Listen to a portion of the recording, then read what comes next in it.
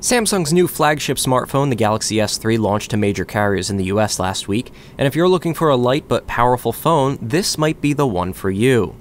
What you'll notice first is the large and bright 4.8 inch screen. It has a resolution of 1280 by 720 pixels. While the screen is among the biggest in its class, the phone doesn't feel bulky because it's less than a centimeter thick. It has a plastic body which keeps the phone light. There's a headphone jack, power switch, and volume rocker, as well as a physical home key. The GS3 has a 1.5 GHz dual-core processor and 2 GB of RAM. Pair that with a 4G network and the phone is very zippy. There's no problem switching between applications, playing HD movies, or navigating apps and the web. In a speed test on Verizon Wireless's 4G network in Boston, we saw speeds near or exceeding 10 megabits per second up and down. Battery life is good with about 12 to 15 hours under normal usage with the 4G and GPS radios on. Samsung added a lot of extras to the phone. Its biggest addition was S Voice, Samsung's answer to Apple's Siri. It seemed to be hit or miss for us.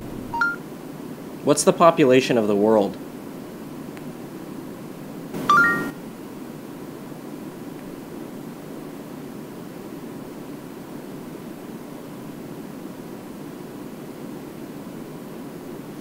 Six point seven nine billion people.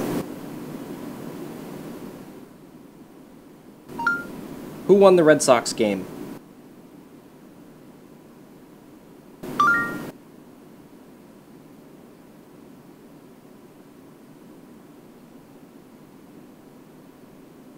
I'm sorry, I don't have the answer. Would you like to search the web?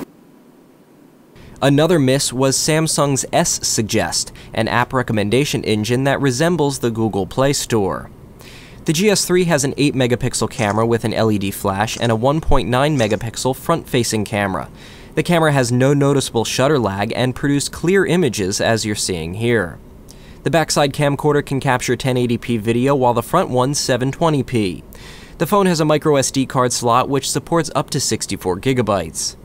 The Samsung Galaxy S3 is available from all major carriers in the US for $200 with a two year contract.